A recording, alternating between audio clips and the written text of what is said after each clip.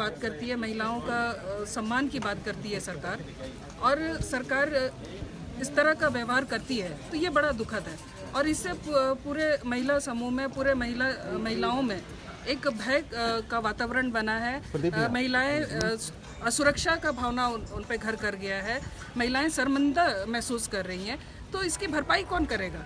आज झारखंड राज्य में अगर महिलाओं की ये स्थिति है तो ये बीजेपी सरकार को बीजेपी सरकार जो कहती है कि बेटी बचाओ बेटी पढ़ाओ वो कहाँ तक इम्प्लीमेंट होगा? इसलिए सरकार को इसके लिए माफ़ी मांगनी चाहिए और आगे इस तरह के सुरक्षा के नाम पर महिला महिलाओं के साथ इस तरह का व्यवहार नहीं होना चाहिए।